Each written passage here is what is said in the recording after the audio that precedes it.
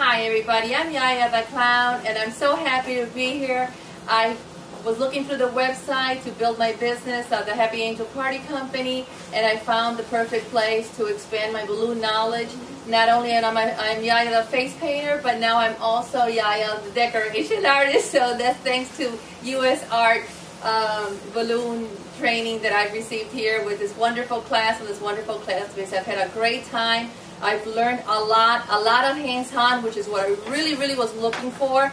I've been to other places where you see and, and it's supplies or material or whatever, but here you just, as you can see, you get your hands into it, and I loved it. I'm so happy. Thank you so much, Sandra.